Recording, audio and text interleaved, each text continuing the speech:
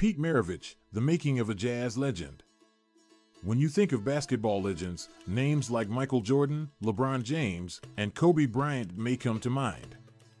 But there is one player who blazed a trail before all of them a Euro Pete Maravich. Known as Pistol Pete, Maravich was a revolutionary player whose impact on the game is still felt today. Early life and beginnings. Pete Maravich was born on June 22, 1947, in Aliquippa, Pennsylvania. His father, Press Maravich, was a successful college basketball coach who had a major influence on Pete's development as a player. From a young age, Pete showed a natural talent for the game, and his father began coaching him at a very young age. Maravich's skills on the court were unlike anything that had been seen before. He had an uncanny ability to handle the ball with both hands, make pinpoint passes, and score from virtually anywhere on the court. His creativity and flair made him a fan favorite, and he quickly became a standout player in high school. College career at LSU. After a successful high school career, Maravich went on to play college basketball at Louisiana State University, LSU. In three seasons with the Tigers, Maravich cemented his status as one of the greatest college players of all time. He became the NCAA's all-time leading scorer, averaging an incredible 44. Two points per game over his career. Maravich's scoring ability was unmatched, and he had a way of making the game look effortless. His flashy style of play and boundless creativity made him a joy to watch, and he quickly became a national sensation. Despite his individual success, Maravich was unable to lead LSU to a national championship, but his impact on the game was undeniable.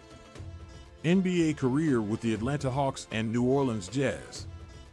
After college, Maravich was selected with the third overall pick in the 1970 NBA draft by the Atlanta Hawks.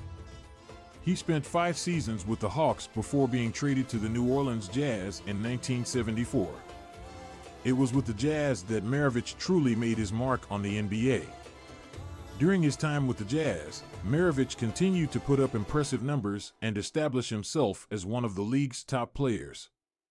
He led the league in scoring in the 1976 77 season, averaging 31. 1 points per game.